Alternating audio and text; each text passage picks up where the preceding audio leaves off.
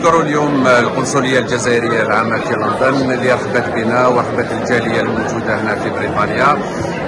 وهذه حفلتنا وحفلة الجزائر آه، رانا مستمتعين بالأجواء الجزائرية من كل أقطار الوطن.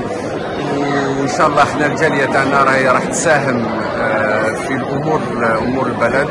ونطوروها ونفرحوا ونطلعوا شان الجزائر آه، دوليا. هذا اللقاء نستذكر فيه آه، آه، شهداء الأبرار الذين ضحوا من أجل استقلال البلاد واستعادة السيادة الوطنية.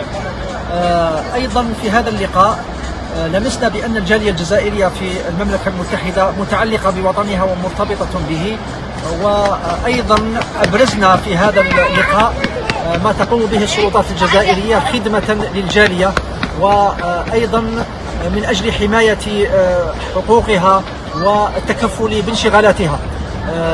لمسنا في هذا اللقاء بأن هناك أيضا آه، يعني آه، اهتماما كبيرا بالشأن آه، الجزائري بالنسبة للجالية آه، الذين بقدر ما يحتاج آه، يحتاجون إلى آه، وطنهم فإن وطنهم أيضا يحتاج إليهم.